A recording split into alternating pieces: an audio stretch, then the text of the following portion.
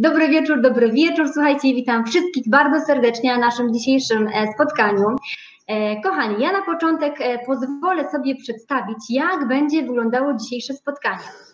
Bo oczywiście przedstawię za chwilę naszego gościa specjalnego, Olgę. Również zadam Olgę kilka pytań dotyczących pozytywnej dyscypliny, bo o tym dzisiaj mowa. Będzie również taka przestrzeń na zadawanie pytań od Was, czyli możecie zadać pytanie Olce dotyczące właśnie tego, co dzisiaj będzie mowa, ale również z Olgą będziemy mieć dla Was takie specjalne, wyjątkowe zaproszenie na szkolenie. E, dlatego słuchajcie, e, już pomalutku e, będę rozpoczynała. Dla tych osób, którzy mnie słuchajcie, nie znają, nazywam się Daria Podgórska. Jestem pedagogiem, nauczycielem edukacji przedszkolnej, oligofornopedagogiem, trenerem, ale też gospodarzem Ale Frajda Centrum Edukacji i Animacji. Słuchajcie, a dzisiaj moim gościem jest wyjątkowa osoba, jest nią Olga Pośpiech. Olga Pośpiech jest certyfikowaną edukatorką pozytywnej dyscypliny. Jest również mamą dwóch chłopców, ale Olga ma również sześcioletni staż jako dyrektor przedszkola e, imienia Marii Montessori. E, Olga również prowadzi webinary, szkolenia dla nauczycieli, dla rodziców dotyczące właśnie pozytywnej dyscypliny. Olga, czy tyle, czy coś więcej możesz tutaj powiedzieć? A, mm, po pierwsze, dobry wieczór, bo nie zdążyłam się jeszcze przywitać. Dobry wieczór, po drugie, tak, także e, witam Ciebie mm, online'owo, witam też wszystkich uczestników. Tutaj podglądam, słuchajcie, co się dzieje w komentarzach. E, bardzo Wam dziękuję, znaczy przede wszystkim szczególnie dziękuję Darii za zaproszenie, że w ogóle o mnie pomyślała. E, to też jest mój pierwszy wywiad, więc czuję się i zaszczycona, i wyróżniona, i troszkę zestresowana, ale mm, też jak mówi pozytywna dyscyplina, od razu Wam zdradzę, mm, błędy są okazją do nauki, nauki, także gdyby nam się tutaj coś przydarzyło, to obiecujemy, że wyciągniemy, wyciągniemy z tego naukę i e, też prosimy Was o wyrozumiałość. E, myślę, że powiedziałaś e, prawie wszystko. Tak, rzeczywiście jestem dzisiaj tutaj dla Was przede wszystkim w roli edukatorki pozytywnej dyscypliny dla rodziców i dla nauczycieli. Jestem mamą dwóch temperamentnych chłopców, mają 9 i 11 lat. Tak, i rzeczywiście staż e, mojej pracy tak, takiej dyrektorskiej rzeczywiście też wynosi 6 lat. Także jesteś przygotowana. Okej. Okay. E, słuchajcie, no to e, myślę, że będziemy powoli rozpoczynać. Ja mam tu do Olgi kilka pytań. Myślę, że Wy również macie kilka, kilka pytań do Olgi. Tutaj widzę i witam oczywiście wszystkich serdecznie, którzy do nas dołączyli. Witam Karolinę Jagusiak, witam Ulę, witam Klaudię Kluszną, witam Anię, Izę, Natalię, Ma, Magdę, Urszulę, słuchajcie, Ewelinę z Wielkopolskiego. Naprawdę tutaj widzę, jest nas mhm. dość dużo, bardzo osób tu pośród nas, więc bardzo się cieszę. Witam Was wszystkich bardzo serdecznie e, i myślę, że możemy już oficjalnie rozpoczynać. E, Olga, powiedz nam, czym jest ta pozytywna dyscyplina? Pozytywna dyscyplina, mm, ja, chociaż nie, może zacznę inaczej. Ja to się w ogóle dziwię, jak ktoś mi zadaje to pytanie, bo ja nią już tak? jestem otoczona kilka lat, więc jak ktoś o niej nie słyszał i nie wie, to ja naprawdę jestem szczerze zdziwiona. Mhm. Ale to taki żart. E, pozytywna dyscyplina jest podejściem do rodzicielstwa i do nauczania i pochodzi ze Stanów Zjednoczonych. To podejście ma już prawie 40 lat. Za jej e, autorkę e, uznaje się Jane Nelson, e, która, no, można już o niej tak powiedzieć, jest w wieku takiej prababci. Mm, jest autorką 20, ponad 20 książek, również współautorką. Jest terapeutką dla rodzin, dla małżeństw i swoje doświadczenia mm, na zdobywała przede wszystkim jako mama siedmiorga dzieci, później jako babcia dwudziestki dwójki wnucząt i teraz jako prababcia szesnaściorga wnucząt. E, także no co jak co, ale pole do popisu na pewno było. E, pozytywna dyscyplina, przynajmniej to, co mnie e, się w niej spodobało i to, co mnie przekonało, mm, to jest podejście, które nie ma nic wspólnego z behawioryzmem, czyli mm, najogólniej rzecz ujmując, nie ma w nim nagród ani kar. Czyli tutaj nie skupiamy mhm. się na tym, żeby nagradzać dzieci za dobre zachowanie, a najpierw, żeby je na tym zachowaniu przyłapać, e, albo żeby ukarać je za zachowanie, które w naszym mniemaniu jest jakieś nieodpowiednie, e, tylko bardziej tutaj skupiamy się na tym, że nieodpowiednie zachowanie dzieci traktujemy trochę jak wyzwania, po to, żeby znajdywać do nich rozwiązania. E, ja wiem, że to teraz może brzmieć tak troszkę y, enigmatycznie, e, niemniej jednak cała pozytywna dyscyplina, cała jej teoria i e, narzędzia, które oferuje, bardzo fajnie mm, te rzeczy tłumaczą. Pozytywna dyscyplina też zakłada szacunek dla każdej ze stron. Tak jak już mówiłam, daje przyzwolenie na błędy i traktuje błędy jako okazję do nauki.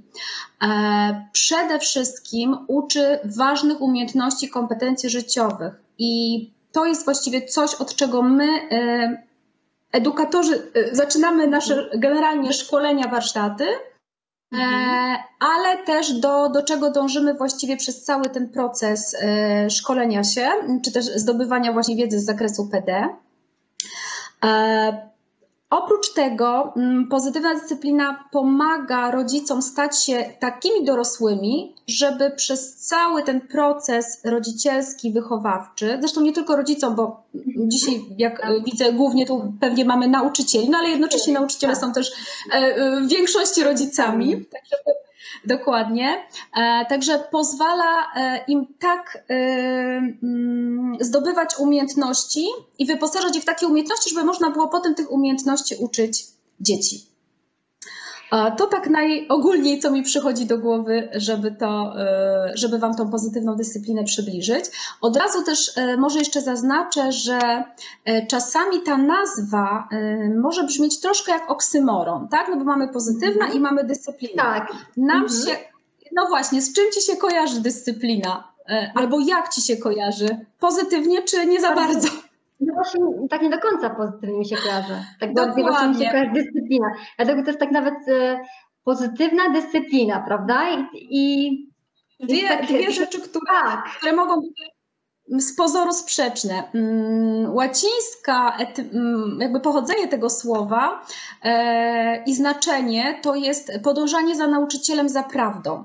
Także możecie mhm. sobie nawet gdzieś tam wygooglować. Więc dyscyplina nie ma już ni, nic, nic wspólnego, nie wiem, z karą, z, mm, z jakimś takim podejściem bardzo autorytarnym. Także, także to znaczenie się e, trochę za, zatarło w międzyczasie. A Olga, powiedz mi, czyli tak już mamy mhm. obraz, pozytywna dyscyplina to jest, mhm. E, a powiedz mi, skąd u Ciebie się wzięło takie zamiłowanie do tej? No bo, to, to, e, no bo tak nie każdy od razu wie, że tego szuka, albo że no skąd, no skąd u Ciebie taki zapał do tego, skąd prawda? Edukatorką e, Pewnie nikogo to nie zdziwi i gdyby tutaj przepytać edukatorów, to pewnie byliby tutaj ze mną dni i w większości, że taką zewnętrzną motywacją do poszukiwań nowej wiedzy, nowych sposobów komunikacji, a stały się oczywiście własne dzieci w pierwszej kolejności. No chyba, że ktoś tych dzieci nie ma i chce się doskonalić jako nauczyciel. E, także no, moi chłopcy, tak jak już wspomniałam, e, raczej stwarzają mi mnóstwo okazji do szukania rozwiązań na nasze codzienne mhm. wyzwania i jedno że oczywiście nie zamieniłabym ich na żadnych innych. E, I już właściwie dawno temu nawet będzie chyba z 7 lat, jak teraz liczę, kiedy mój starszy syn miał 3 mhm. lata, już poczułam, że to jest taki dobry moment, żeby jednak e, czegoś poszukać, gdzieś Aha. pójść, coś przeczytać, czegoś się dowiedzieć.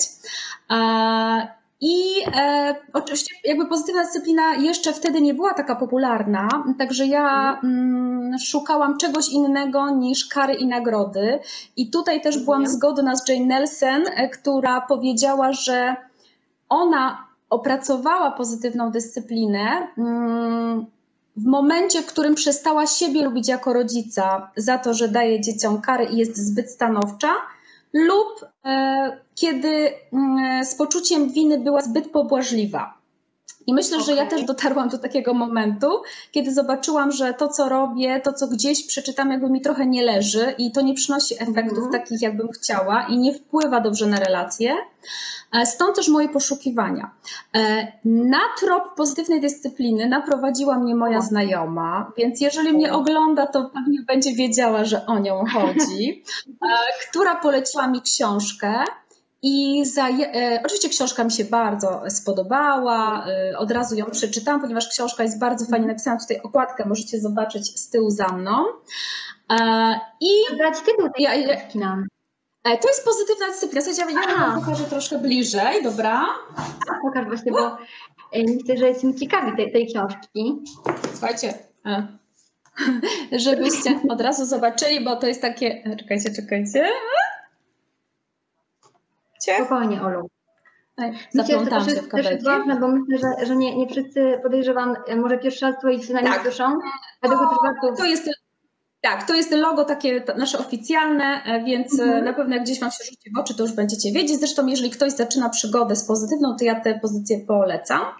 No i pamiętam, że właśnie tą książkę czytałam, e, też biegałam za, za mężem, czytałam mu fragmenty, także te mamy, które podobnie miały, a wiem, że takie są, to doskonale mnie rozumieją, jakie to przyniosło efekty.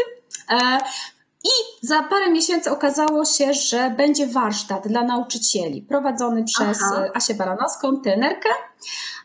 I już po pierwszym dniu takiego warsztatu, e, gdzie zdobywałyśmy wiedzę właśnie z punktu widzenia nauczycieli, jak, jak prowadzić dzieciaki w klasie, w grupie, no już wiedziałam, że na tym się nie skończy. Także właściwie to już wtedy zapadła decyzja, że jeżeli tylko będzie taka opcja, żeby szerzyć to dalej, to ja w to idę.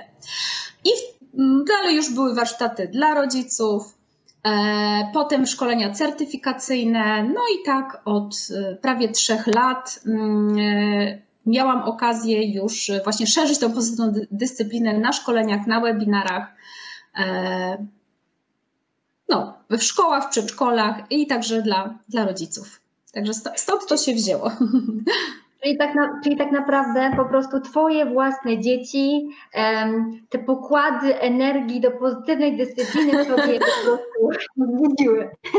Tak. E, I to, co jeszcze muszę zaznaczyć, to jest to, że mm, ja to też zresztą powtarzam na, na każdym warsztacie, że mm, ja mówię o rzeczach e, i staram się przekazywać wiedzę e, i swoje doświadczenia, i um, uczę narzędzi i technik, mhm. które sama wypróbowałam i co do okay. których mam pewność, że są skuteczne. I to właśnie w pozytywnej mnie urzekło, że w momencie, kiedy się w nią wdrożyłam i zaczęłam to mhm. robić w domu, E, to naprawdę e, efekty e, były niektóre widoczne od razu, na niektóre było, było, trzeba troszkę poczekać i mnie to osobiście bardzo pomogło w pierwszej kolejności właśnie jako rodzicowi, czyli właśnie żeby się dogadać, żeby z szacunkiem, z empatią mm, współpracować, być w relacji i budować, mam nadzieję, dalej kompetencje, umiejętności u moich prywatnych dzieci. A powiedz mi taką rzecz, no bo mówisz, że masz już takie hmm? doświadczenie, już tą metodę e, jakby stosujesz w stosunku do swoich dzieci i tak, czy ona naprawdę jest taka skuteczna i taka, że, że, że wszystko ci się w niej sprawdza, że, że, mhm. że ten czas, bo teraz mówiłaś, że ten czas raz jest dłuższy, raz jest krótszy, że efekty raz widać szybciej, raz, raz krócej i tak. jak, to, jak, jak to po prostu stosujesz, to jak to u, u Ciebie po prostu wygląda? Czy Ty uważasz, że to jest mhm. metoda taka niezawodna, e, którą do tej pory spotkałaś i możesz ją polecić tak z czystym sumieniem? Jak to u Ciebie wygląda? Mhm.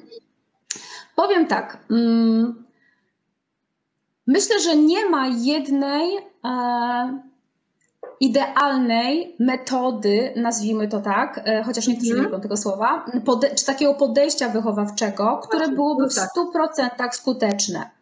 Mm. Weźmy też pod uwagę to, że mm, my jako rodzice, kiedy rodzą się dzieci i zaczynają dorastać, nie mamy mm, jakby te, tego mm, pakietu informacji, które powinniśmy mieć, nawet mhm. y, chodzi mi o taką wiedzę i teoretyczną na temat rozwoju dzieci, ani, na, ani psychologiczną, czyli jak się komunikować, tak. w którym momencie, jak układać zdania, jak y, rozkminiać, co stoi za dziecka zachowaniem, tak? Tymczasem mhm. na przykład, żeby mm, mieć prawo jazdy, to trzeba iść na kursy, żeby A. uczyć w szkole, trzeba skończyć studia, tak? E, czy żeby robić cokolwiek innego, no to trzeba najpierw się wyszkolić, a rodziców tak naprawdę, no, y, dziecko się rodzi i nagle się okazuje, że nie jest łatwo i nikt nie mówił, że będzie łatwo i trzeba coś dla siebie znaleźć. E, ja muszę powiedzieć z czystym sumieniem, że nie ma też rodziców idealnych, nie ma idealnych y, i pozytywna dyscyplina tego nie zmieni. I nie ma też przedszkolaków idealnych i nie ma nauczycieli idealnych. I to jakby powinniśmy sobie wypisać złotymi zgłoskami. I będziemy popełniać błędy i będziemy się na tych błędach, mam nadzieję, uczyć. Ale to, do czego zmierzam, to to, że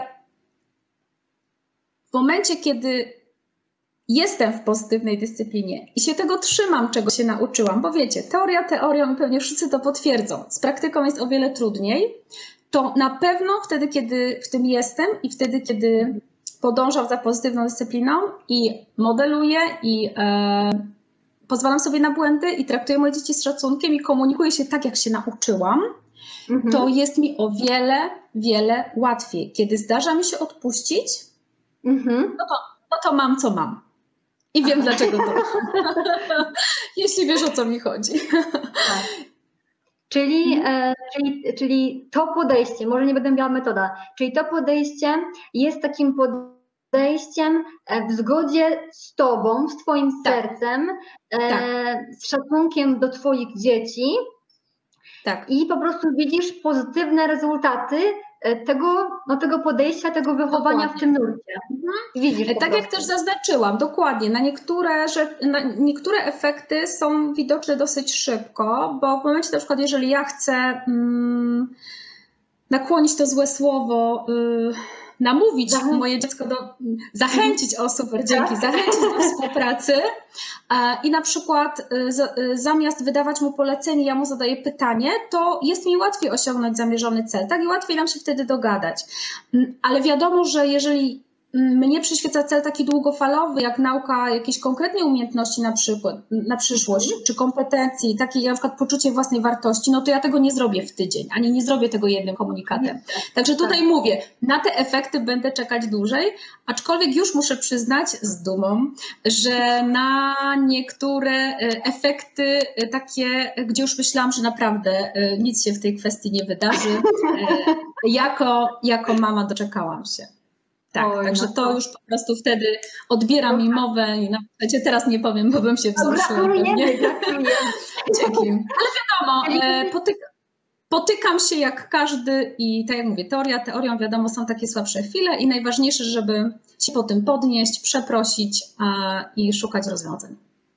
Czyli po prostu jesteś żywym e, przykładem po prostu e, no, stosowania. Tak, My na to mówimy praktykująca. O, w sensie praktykująca matka, PDF tak. praktykujący nauczyciel.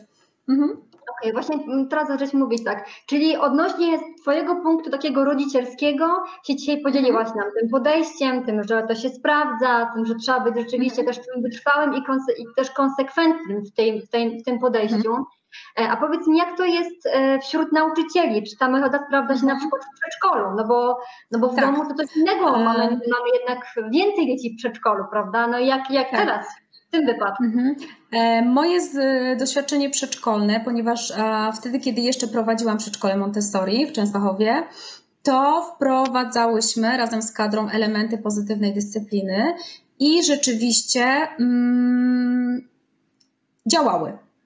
Też, tak mhm. jak mówię, nie wszystkie od razu, być może nie na wszystkie mhm. dzieci, być może trzeba było się czasami bardziej pogimnastykować. E, mhm. To też mi się mm, podobało, dlatego że mm, kto z Was tutaj, a może też dajcie znać w komentarzach, chętnie zobaczymy, jest tak. zaznajomiony z pedagogiką Montessori, to od razu też mogę powiedzieć, że pozytywna dyscyplina ma też dużo mm, cech wspólnych Mhm. Można znaleźć takie jakby tożsame punkty, tak? I z filozofią Marii Montessori, która wiecie, już ma prawie ponad 100 lat, i właśnie z PD. E, to jakby na, na, czym mi wtedy zależało, to było to, żeby dzieci, które są u nas w placówce, były traktowane z empatią, z szacunkiem, żeby się u nas czuły dobrze. E, I wiem, że, że tak było i wiem, że też rodzice to doceniali i mhm. chętnie też właśnie w ramach tej współpracy z przedszkolem pogłębiali też wiedzę z zakresu pozytywnej dyscypliny. Mam też takie doświadczenia i informacje zwrotne, jeżeli chodzi o uczestników warsztatów, tak? bo miałam już mhm. okazję przeszkolić kilka kadr w przedszkolach okay. i szkołach. E, i potem rozmawiać z nimi potem, e, jakby po, po jakimś czasie. I mhm. rzeczywiście, kiedy nawet e, z takim może niedowierzaniem, troszkę z taką mhm. rezerwą, dziewczyny nieśmiało próbowały, to same były zaskoczone mhm. efektami, tak? Jak, jak, jak dzieci na to reagują, jak współpracują, jak się otwierają. Myślę, że jest taka potrzeba wśród nauczycieli, żeby dostawali do ręki takie narzędzia, bo z tego co wiem, nie ma takiej wiedzy na studiach. Sama jestem po studiach podyplomowych, sama wypytałam też, y, właśnie zawsze pytam, ktoś właśnie skończył pięcioletnie studia. Oj, Daria, zniknęłaś mi. Jestem, Jesteś? jestem, Jesteś. jestem, jestem. Przed chwilą, tak, tak, przez chwilę Cię nie było. E, jak właśnie pytam nauczycielki, czy właśnie jest jakiś taki przedmiot, jakieś takie zajęcia, właśnie żeby wiedzieć, jak współpracować. Nie mówię tu takim behawioralnym, tak? Jakieś kary, nagrody, mhm. naklejki, chmurki i tak dalej. To też jakby nie mhm. miejsce na to. E, ale właśnie jak sobie radzić, jak, jak zachęcać do współpracy, jak też mm, być takim detektywem nieodpowiednich zachowaniu dzieci, mhm. skąd one się w ogóle biorą e, jak pracować z dwulatkiem, a jak pracować z sześciolatkiem, bo na przykład mm, przyjmuje się, że dzieci do lat trzech, mm, jakby tutaj też troszkę traktujemy inaczej, bo to, co nam się może wydawać nieodpowiednim zachowaniem, to tak naprawdę jest y, normą, mm, normą. jeżeli mhm. chodzi o ich rozwój i trzeba, i trzeba po prostu to poznać. Tak. E, także mhm. Wiem, że nauczyciele, szczególnie tacy poszukujący, otwarci, ale nawet ci, którzy już są pod ścianą, szukają tak. takich narzędzi, szukają takich szkoleń i no, doświadczenie mi to podpowiada, że e, raczej są zadowoleni, jak wychodzą. Mhm. Czyli du dużo, dużo wnoszą, e, stosują, wprowadzają to do swoich e, przedszkoli tak. i jedna tutaj masz odzew pozytywny tego, że to się sprawdza, jest prościej, mhm. jest łatwiej. Ktoś mi tak łatwiej. pisze, tak? Nam tutaj pisze, Proszę, tak? Tak, tak, tak, tak. Mhm. E, słuchajcie, no, kochani, e, jeżeli macie jakieś pytania e, tutaj do Olgi odnośnie e, właśnie pozytywnej dyscypliny, dajcie znać w komentarzach w ogóle, czy wy tą metodę, tą, może to podejście u siebie stosujecie, czy praktykujecie mhm. to podejście. Bardzo ciekawe z Olgą, czy u Was, jak to się u Was sprawdza, e, ponieważ mamy mhm. taką wyjątkową propozycję odnośnie właśnie pozytywnej dyscypliny w przedszkolu. E, przygotowałyśmy dla Was e, specjalne szkolenie, bezpłatne szkolenie, bezpłatny webinar dotyczące, dotyczące pozytywnej dyscypliny w przedszkolu.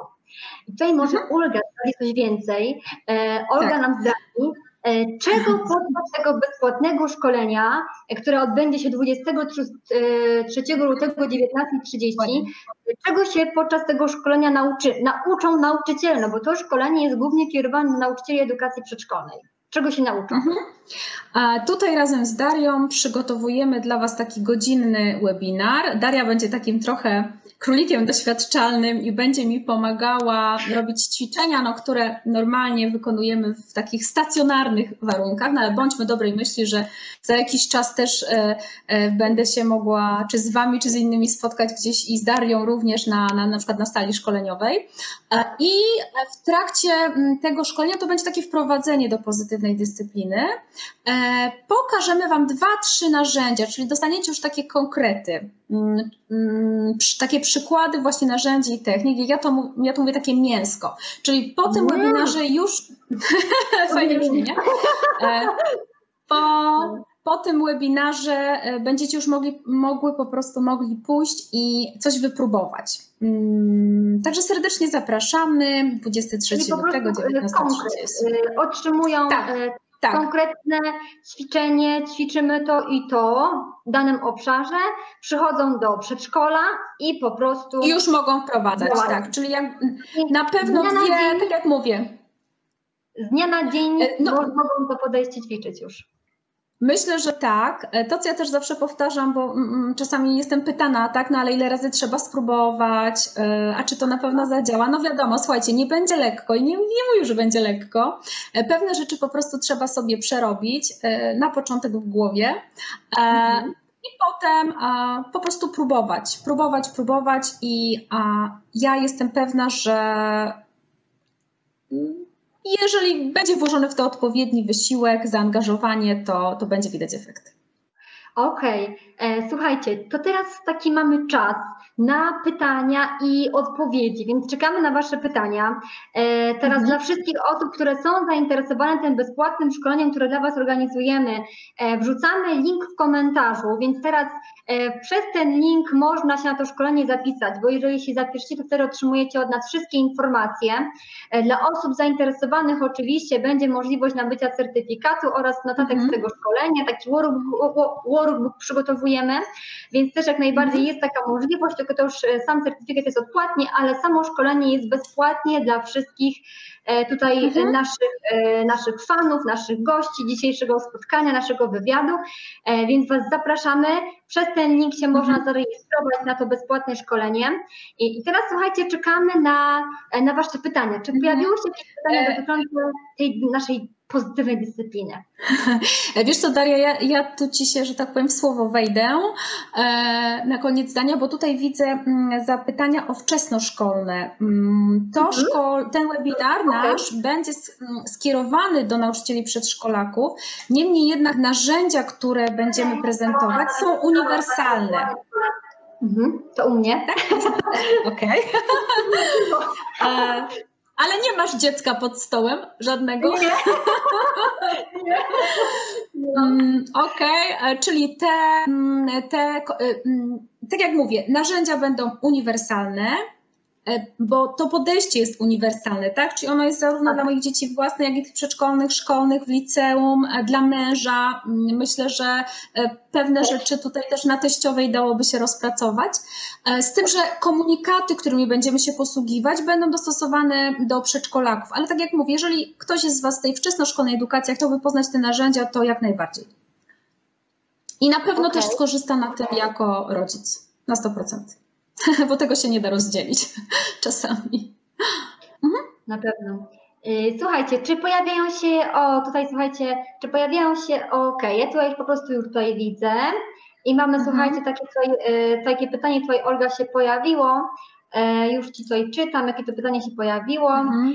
Jak sprawić, pyta się Magda, o właśnie, już mamy, jak sprawić, żeby dzieci nie przeszkadzały na zajęciach? Wow, to jest Magda, tak? Wiesz co, Magdo, ja bym Ci chciała tak krótko na to pytanie odpowiedzieć i e, wiem, że zależałoby Ci na mojej odpowiedzi, krótkiej, konkretnej e, i jednocześnie nie potrafię tego zrobić, ponieważ to, jak dzieci się zachowują na zajęciach, naprawdę wynika z bardzo wielu rzeczy. E, I tutaj mogę Ci jedynie zachęcić do pogłębiania właśnie tego tematu e, pod postacią pozytywnej dyscypliny, e, bądź też do potem udziału w webinarze, ponieważ na zachowanie dzieci wpływa wiele czynników, ich wiek, temperament, ale też, i tu może zabrzmi troszkę enigmatycznie, ale przy takie błędne strategie osiągania przez dzieci przynależności. Tak. Więc Tutaj no, sprawa jest trochę bardziej skomplikowana i, i bardzo fajnie, że o to pytasz, bo mm, to, co możecie wiedzieć y, już w tym momencie, to to, że to, co widzimy pod postacią zachowania dziecka, to jest tylko czubek góry lodowej. I pozytywna dyscyplina y, jest trochę, pomaga nam być takimi detektywami y, w odnajdywaniu przyczyn. Okej, okay, Magda, koniecznie zapisuj się na szkolenie, nie ma, nie ma bata, no po prostu. no będzie na pewno więcej informacji na ten temat, jak, jak to po prostu, jak na to wpłynąć. E, słuchajcie, czy jeszcze jakieś pytania się pojawiają? Tutaj, e, jeżeli się, jeżeli się pojawiają, to słuchajcie, pytajcie, jeszcze jest ostatnia szansa, ponieważ będziemy za chwilkę kończyć to nasze spotkanie z Olgą e, i już oficjalnie zaczniemy zapisać to szkolenie, które odbędzie się 23 E, lutego o godzinie 19.30, a wszystkie informacje e, dostaniecie na maila przy zapisie na szkolenie, dlatego też już e, Was zapraszamy. Mhm. Czy pojawiają się jeszcze jakieś pytania, moi drodzy, czy nie? Jeżeli się nie pojawiają, Olgo, moja droga, bo tutaj na razie nie widzę, mamy też takie pewnie lekkie opóźnienie, e, więc mhm. słuchajcie, no myślę, że, e, że będziemy po, pomalutku kończyć. E, Olga, myślę, że jak na pierwszy raz e, taki informacji krótkiej, bo to była taka spółka e, o pozytywnej dyscyplinie, e, jakby mam takie odczucie, że, że, na, że nasi po prostu tutaj e, po drugiej stronie ekranu e, wszyscy goście jakby mają pojęcie o pozytywnej dyscyplinie, e, tak. wiedzą, że to jest e, jedna z podejść, jedna z ważnych podejść odnoszących, które odnoszą się z szacunkiem, ale też z, z, taką zgodą, którą mam w sobie w środku. Ja też jakby za tym jestem bardzo, bo to dla mnie jest najważniejsze, żeby żyć w zgodzie z sobą, z, z dziećmi, z otoczeniem, z bliskimi. A jeszcze jak mówisz, że ta metoda po prostu e, można ją, to podejście będę mówić, prawda? Mhm. Można i, do rodzica, i, do dziecka, i do męża, i ten, to wydaje mi się, że warto z tej, z tej propozycji, bo tylko komunikaty mhm. potem będziemy po prostu zmieniać, a, a, a, sama, a samo podejście i ta główna idea e, tej pozytywnej dyscypliny jednak w człowieku zostaje. Mhm. i tak to podsumowałeś, że się teraz boję, co będzie, jak znajomi mnie na ulicy spotkają, czy nie będą podejrzewać, że ja coś na nich teraz stosuję i wypromowuję. E, ale żeby to tak załagodzić, to powiem, że ona na pewno pomaga generalnie się komunikować, pomaga mm, rozkminiać te zachowania, pomaga szukać przyczyn, no i przede wszystkim e, koncentruje się na rozwiązaniach, tak? Czyli na tym, co ma być, a nie na problemie, czyli na tym, co już się stało. Mhm. Mhm. Olga, tu jeszcze jakieś pytanie widzę, tak? Pojawiło się, mhm. tak, pojawiło się jeszcze e, jedno pytanie tutaj. I Jowita nasz pyta, e, czy jest możliwe wprowadzenie pozytywnej dyscypliny w mieszanej grupie dzieci od 2,5 do 5 lat? Jak najbardziej. Dwa mogę podać tutaj e, argumenty za. Mm, po pierwsze, my ją wprowadzałyśmy w naszym przedszkolu, gdzie z racji mm, założeń metody Marii Montessori grupa była mieszana wiekowo, także to były dzieci od 2,5 do 6 lat. E, e, a poza tym, no, jeżeli mamy rodzeństwa w domu, to wiemy, że też ta różnica wieku jest zawsze, mm, chyba że są to bliźnięta, ale pewnie wtedy mogą mieć różne temperamenty. Także jak najbardziej można ją stosować. Tak jak mówię, coś do jednego, coś do drugiego. Myślę, że rodzice tutaj są specjalistami, jeżeli chodzi o dzieci, a, a wy, nauczyciele, jesteście specjalistami po prostu swoich przedszkolaków. Także tutaj też mm, te wskazówki spokojnie by Wam pomogły w takim też indywidualnym podejściu do dzieciaków w przedszkolu. Okej, okay, Jowita, dziękujemy za pytanie.